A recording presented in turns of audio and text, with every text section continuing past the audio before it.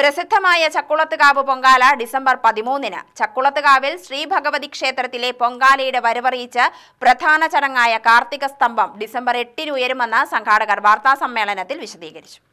നിർമാല്യ ദർശനവും അഷ്ടദ്രവ്യ മഹാഗണപതി ഹോമവും ഒൻപതിന് വിളിച്ചുചൊല്ലി പ്രാർത്ഥനയും തുടർന്ന് ക്ഷേത്ര ശ്രീകോവിലിലെ കെടാവിളക്കിൽ നിന്നും ട്രസ്റ്റ് പ്രസിഡന്റും മുഖ്യ കാര്യദർശിയുമായ ഗോപാലകൃഷ്ണൻ നമ്പൂതിരി പകരുന്ന തിരിയിൽ പണ്ടാര പൊങ്കാല അടുപ്പിലേക്ക് അഗ്നി പ്രോജ്വലിപ്പിച്ചുകൊണ്ട് പൊങ്കാലയ്ക്ക് തുടക്കം കുറിക്കും.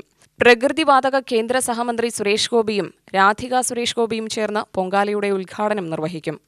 ഒൻപത് മണിയോടുകൂടി വിളിച്ചുചൊല്ലി പ്രാർത്ഥനയ്ക്ക് ശേഷം ക്ഷേത്ര ശ്രീകോവിലിലെ കിടാവിളക്കിൽ നിന്നും ക്ഷേത്ര മുഖ്യ കാര്യദർശി ബ്രഹ്മശ്രീ രാധാകൃഷ്ണൻ നമ്പൂതിരി മണ്ടാര പൊങ്കാല അടുപ്പിലേക്ക് ദീപം തെളിക്കുന്നതോടെ പൊങ്കാല ചടങ്ങുകൾക്ക് തുടക്കമാകും.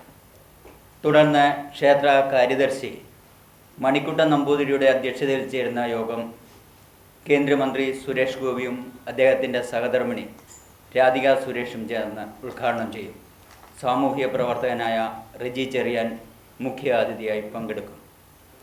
പതിനൊന്ന് മണിയോടുകൂടി ദേവിക്ക് തയ്യാറാക്കിയ പൊങ്കാല അൻപത്തൊന്ന് ജീവിതങ്ങളിലായി അഞ്ഞൂറിൽ പരം വേദപണ്ഡിതരുടെ നേതൃത്വത്തിൽ പൊങ്കാല അർപ്പിച്ച ഇടങ്ങളിലെല്ലാം ചെന്ന് പൊങ്കാല നിവേദ്യം നടത്തുക എന്നൊരു ചടങ്ങ് നടക്കും. രഞ്ജിത്ത് ബി നമ്പൂതിരി അഭിജിത് കുമാർ പിഷാരത്ത് സ്വാമിനാഥൻ എന്നിവർ വാർത്താ സമ്മേളനത്തിൽ പങ്കെടുത്തു. U T V news Palakkad.